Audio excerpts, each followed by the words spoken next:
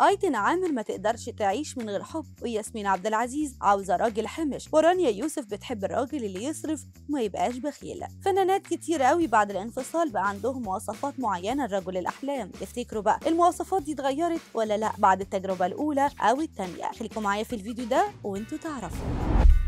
أي ست في الدنيا بيبقى ليها مواصفات أحلام بالراجل اللي بترتبط بيه وعاوزة تكمل حياتها معاه خاصة بقى لما تبقى فنانة ومشهورة. أكيد بيبقى ليها مواصفات خاصة وملهاش زي وعايزاها تتحقق كلها مع الشخص اللي هي اختارته تكمل معاه حياتها. مش بس كده دي المواصفات بتبقى أصعب لما بترتبط وتتجوز مرة وتنفصل وتقرر ترتبط تاني. فالمواصفات جزء كبير منها كمان بيتغير. من الفنانات بقى اللي انفصلت وبقى ليها تطلعات مختلفة شوية في اللي عاوزة ترتبط بيه بعد الانفصال الأول ليها هي ايتن عامر اللي برضه ما تقدرش تعيش من غير حب ولا ارتباط لأنها برج الحوت والبرج ده ما يقدرش يعيش من غير رومانسية ولا حب في حياته. وبالرغم من إنها واخدة break من الحب دلوقتي بسبب خروجها من الجوازه الأولى بمشاكل مع جوزها السابق إلا إن ده ما خلاش تتنازل عن مواصفات شريك حياتها اللي جاي. واللي أهم حاجة فيه يكون متواضع ومش مهم يكون عنده فلوس أو نفوذ ولا لأ.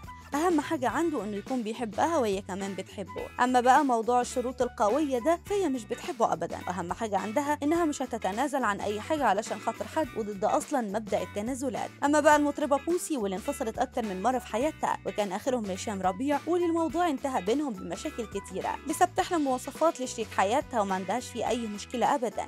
وعاوزة بقى شريك حياتها اللي جاي يبقى عنده شوية حمشنة وحنين عليها بيحبها مش بس كده أهم حاجة عندها الدلع. ما هي ست شافت كتير في حياتها وعاوزة تعيش متدلعة أما بقى رانيا يوسف في دي حكاية تانية خالص ورغم إن كل الناس بتشوف إنها ست قوية في مشاعرها إلا إنها تعرضت للاستغلال العاطفي أكتر من مرة وقالت إنها لما تقرر تتجوز مش هتقع في ده تاني أبدا. وإن أهم الصفات اللي لازم تبقى موجودة في شريك حياتها إنه يبقى كريم في أخلاقه وكمان في فلوسه. يكون كمان ابن ناس في تعاملاته وبيعرف يتعامل كويس مع مراته ومع أي حد في الدنيا. برضه تحبه جدا وإنه يكون عنده حكمة علشان الموضوع بيفرق. أنا شيحة اللي اتجوزت أكتر من مرة المرة الأولى من أبو ابنها ومرة تانية من الفنان أحمد فلوكس والاتنين انفصلت عنهم من فترة لأن مواصفات رجل أحلامها هو إنه يكون صاحب كلمة وإن كلمته ما يكونش إنه بيرجع فيها كمان ما يكونش كذاب لأنه ممكن تتقبل أي حاجة في حياتها إلا الكذبة وطالما هي ما لقتش راجل كده لحد دلوقتي فهي رافضة فكرة الارتباط بأي حد.